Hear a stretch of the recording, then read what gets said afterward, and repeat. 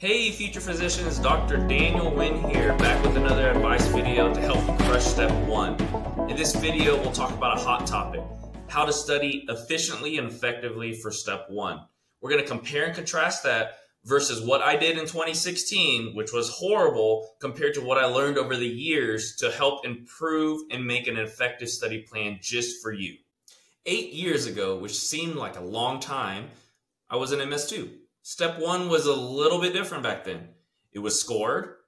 It was very heavily oriented on buzzword and keywords, and memorization was the key to success. There was definitely similarities to the test today, though. Mountains of resource, 12 plus hours of daily studying, lack of sleep, anxiety, and obviously the thought of, am I studying the right thing at all? I personally studied 13 to 14 hours daily, bounced from resource to resource, and constantly felt like I had little direction on what to study and how to study. I still scored in the top 90th percentile due to the brute force of my studying, but I knew even back then that there had to be a better way. Fast forward to today. I've had over six years tutoring medical students under my belt for step one, step two, and step three. I've gone through tons of resources, including test banks, textbooks, and video resources with students. I'm happy to say I've developed a streamlined approach that focuses on quality over quantity. Four weeks, eight to 10 hours a day, three resources. Less stress, better scores, happier you. That's the goal. So, what are these three magical resources?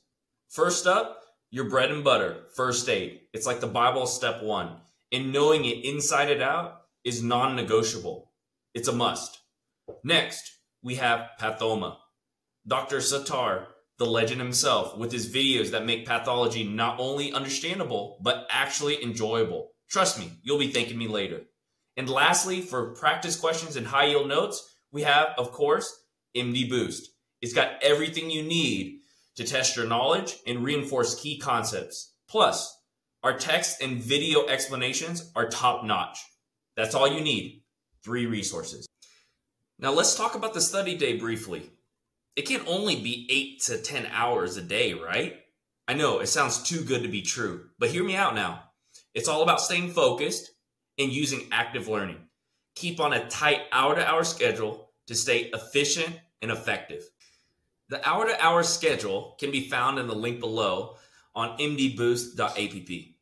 Briefly summarizing, you will start the day by warming up your brain with MD Boost High Yield Notes, which help you follow your first aid readings.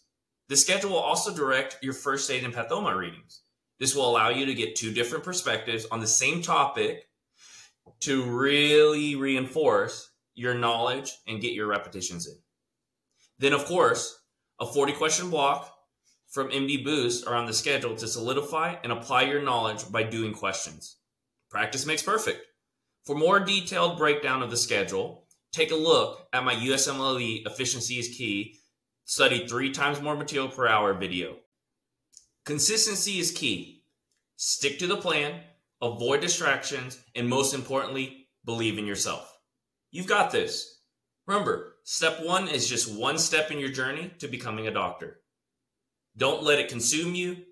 Take care of yourself, prioritize your mental health, and find a study approach that works for you. The mental component of studying is also key. Strive to be the best physician you can be and aim to do well, not just pass.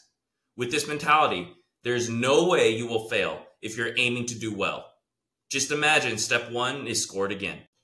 If you found this video helpful, smash that like button and subscribe for more tips and tricks.